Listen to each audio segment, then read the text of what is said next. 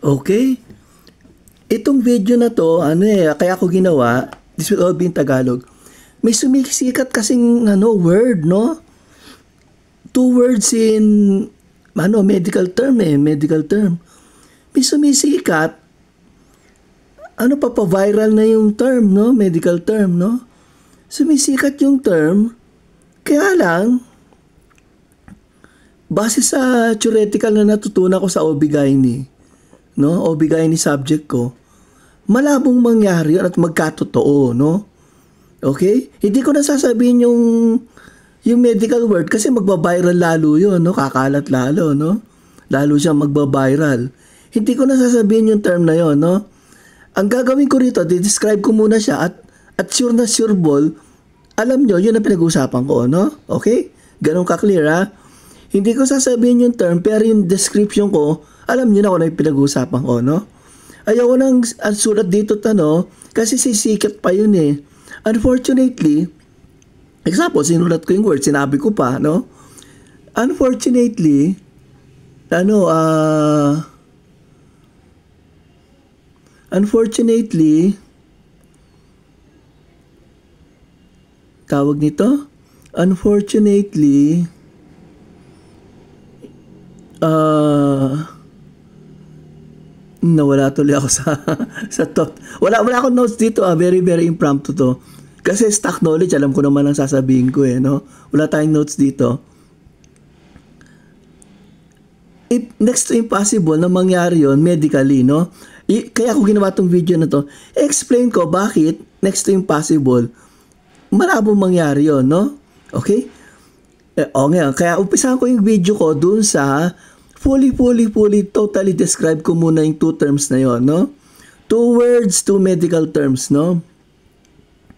Sigurado din, describe ko pa lang, alam niyo na yung topic na pinag-usapan ko, no? Papasikat na, papaviral na, no? Ang problema, mali, no? Kaya ako ngayon naisipan gawin tong video na to, no? Kasi ano siya eh, uh, hindi tayo pwedeng magkalat ng mali at sasabihin ko yung word, mapapropagate pa yung siya, no? Lalo pa siyang sisikat at bibida, no? Okay? Describe ko muna yung two, two words na yon na mali, no? Na mali, no? Isa sa contention nila, no? Yung papaviral na, no? Puputok na. Isa daw sa, dito yung ano, sa baby, no? Dugo ng baby. No, ayan yun, no? Dugo ng baby, katawan ng baby, no? Ito na yon no? Ito na yung area na to, no? Bali, dito naman yung sa nanay, no? Katawan ng nanay, dugo ng nanay, no? Papunta na to sa whole body ng nanay, no? Ito yung matres. Okay? Bali, ano daw? Sinasabi doon, cells, C-E-L-L-S, cells. Yung cells daw ng nanay pupunta rito. Eh, di pumunta dyan, no, sa baby, no? Hindi ko na sa ulit-ulitin, ha, na baby to, ha? Hindi ko na ulit-ulitin na nanay to, no? Okay? sapat na yon no? Pupunta, pupunta rito, pupunta doon, no? Hindi ko na i-emphasize yung, yung kusino siya, no? Cells daw ng nanay, pupunta daw sa baby. At, take note of the term, may iwan doon, no? May iwan doon yung cells ng nanay sa katawan ng bata, no? May iwan at mabubuhay at tatagal at, at mabubuhay, okay? Sapat na yung term na yon, no? Matatagal at mabubuhay at mabubuhay at tatagal pa, no? Years, no? Ano yon? Lampas, lampas, ano? Lampas teenage years. Isipin mo, ha, na galing dito, lampas teenage years, buhay pa rin daw, no? Ngayon, yung blood naman daw ng bata, yung baby, no? Yung dugo ng baby, may cells din daw pupunta sa nanay. No? Eh di meron din yung nanay ng mga cells ng baby. Okay? Ganun din, no? Uh, after 5 years, 10 years, buhay pa daw yung cells ng baby rito, no? Sa katawan ng nanay, no? Sa body ng nanay, sa sa ano, no? Sa blood ng nanay, no? Buhay pa rin daw, no? Ngayon, ang sabi doon, no? Ang sabi doon, kaya daw, kaya daw ano, proof daw nila yon kaya daw minsan nagkasakit yung yung anak niya no eh di lumabas na yung bata okay okay no naging naging toddler, naging uh, naging child, no? Naging child, no? Naging teen, no? Adolescent, no? Adolescent, teenage years, no? Kaya to example lang, ano, kunyari lang. Yung anak niyang teenager, no? May sakit. Nararamdaman daw no nanay yun. No? Nararamdaman daw no nanay. No? And vice versa. Yung anak, nararamdaman daw niya, may problema nanay ko ah, may sakit yata ah. Bakit? Kasi yung cells ng nanay, meron din sa bata. Yung cells daw ng bata, meron din sa nanay. Okay? Yun ang mga sagot doon. Ha? Yun ang reason niya, nila, no? Sa, sa medical terms na yun, no?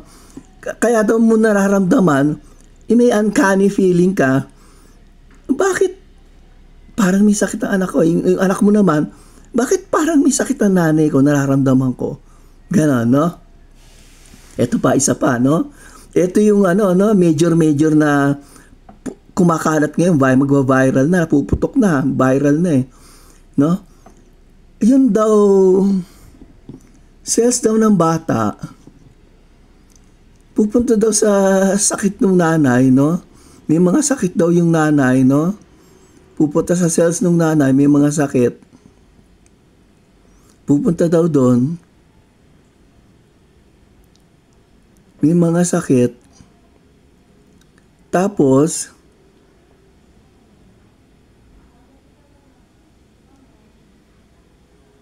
may mga sakit at example lang ano, example, uh, may infection, may cancer, yung nanay, si nanay, may infection, may cancer. Yun daw ang tutulong sa pagpuksa ng germs at ng cancer. Ulitin ko ha. May, may mga cells, di ba, pumunta, galing bata, pumunta sa nanay, no? Ngayon, yung cells daw na yon ano daw yon Ah... Uh, yung cells daw na yon kakalat kakalat at yun daw ang tutulong para mawala yung germs ng nanay, yung germs, yung, yung infection at yung cancer. Okay? And vice versa, yung bata, no, uh, teenage, no, adult, no, eh di ba may cells nung galing sa nanay, may, may cells siya galing sa nanay, di ba? Yung mga cells daw na galing sa nanay, na nabuhay hanggang adult, adult na to, no, matanda na siya, adult na meron daw siyang cancer or infection, no? Yung daw cells na galing sa nanay, katulong daw yon no? Katulong daw yon sa paggaling ng bata sa infection at kontra cancer. No? Okay. Na-describe ko na, no? Fully, no? Yung kumakalat na medical terms, no? Ito ngayon yung real, true, real, true scientific OB-GYN, obstetrics and gynecology, explanation theory, no? Na mali yun, na hindi totoo yun, okay? Mali yun, hindi totoo yun. Lahat ng sinabi ko, no? Lahat ng in-explain ko tungkol sa two terms na yun, mali yun at hindi totoo. Etong, exa- etong, etong dahilan natin at obstetrics and gynecological reasons, basis, no? Pansinin niyo yung ano, yung matris ng nanay, matris to eh, no? Pansinin yung matris niya, no? Dito sa loob ng matris na to, yung area na to, no? Ano yan? May parang barrier, no? Barrier. Anong barrier? Pinipigil nila kung anumang cells na maligaw galing sa bata and and and outer and uh, and anywhere else, no? Okay, malinaw ha, ulitin ko. Cells na galing sa bata and outer and anything else, no? That includes germs, no?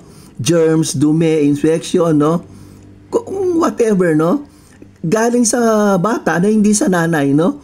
Ang keyword doon na hindi sa nanay, no? Hindi pa papasukin nito, yun ang keyword natin ha, hindi pa papasukin nito, yung barrier na to, hindi pa papasukin ng barrier na to, yung mga nasabi ko, no? Cells ng bata, germs, cancer cells, no? Kahit na ano, no? Hindi nila papapasukin dito na hindi nila papayagan na pumunta sa nanay. sa blood supply. Ito na yung blood supply ng nanay eh.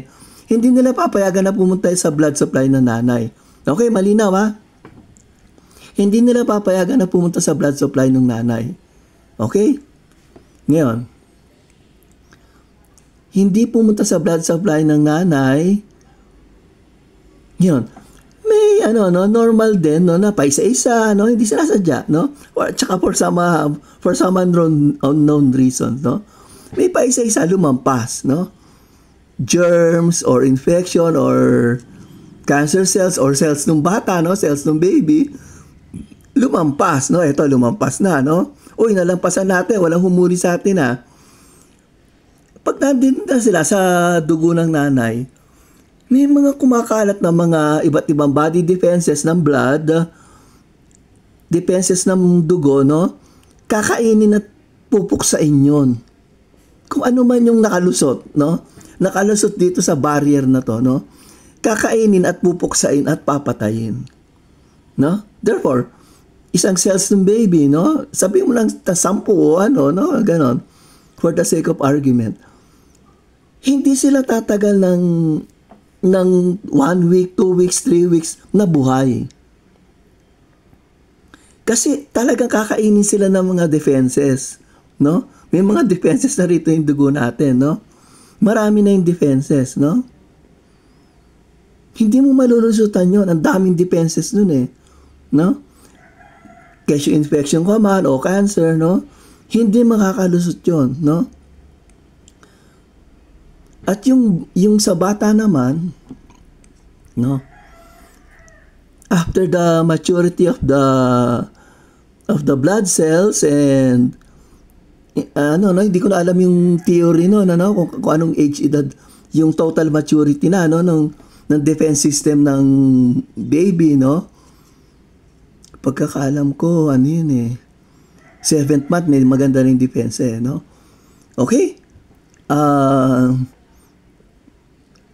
I'm not uh, particularly sure no sa petsa no? Pero sigurado ako by the seventh month kumpleto na yung depensa nito tulad na ng sa atin no? By the seventh month. Yung baby naman yung ba yung baby yung bata no? Ganon din no? Kung ano yung nagawa ng nanay na depensa no? Dito kung anong kakayahan ng nanay na blood system niya na immune system ng defenses same din dito no? Ganon din no Kakainin niya yung cells ng nanay. Germs na lumampas, no? Der, germs, infection, no? Cancer cells, no? Kaya may cancer na nanay, no? Kung may nakalusot man na cancer cells dito, sigurado yan, seventh month, puksa yan, no? Wala nang cancer cells, wala nang infection, no? If not earlier, no? Wala nang infection, no? Patay na lahat yan. Germs, infection, wala na lahat, no? Kaya, imposible totally next to impossible, yung sinasabi na theory na yung cells ng nanay tutulong dito sa adult na bata, yung cells ng bata tutulong sa sa pagsugpo ng infection at cancer ng nanay. Okay? Kung hindi kayo naintindihan, pause rewind, pause rewind lang, nandito na lahat yon. Ang basis ko rito, ano yung legal, legal ano natin, legal basis? Yung tinuro sa obstetrics and gynecology, bra- ano, barrier dito, no? Barrier ng feto-placental barrier, no? Feto, feto-placental barrier, no? May barrier yan eh, no? Walang makakalampas diyan, walang makakalampas dito, papunta rito. From here, walang lalampas doon. From here, walang lalampas dito, no? Feto-placental barrier. Okay? Ano yan? Um, Mahalagang barrier yon no? Kasi para yung infection at mga ibang problema, hindi magpapasapasahan. At saka hindi, lalong hindi mo mabibigay sa anak mo. Kung ano man negative yun, no? Yun na yung sagot natin, no? Malabong mangyari yung, yung sinabing word na yon no? Na two words, no? Kumakalat ngayon at nagba-viral, no? Next to impossible yon O nga pala, no? Ang isa pa palang proof ko, no? One more proof na hindi totoo yung two words na yon na kumakalat ngayon at puputok na, mag-viral na, no? Ano, is, isa pa pala, ang cells ng nanay na napunta sa bata, ang cells ng bata na napunta sa nanay, no? Ang ang cells natin sa buong katawan may limit. Okay?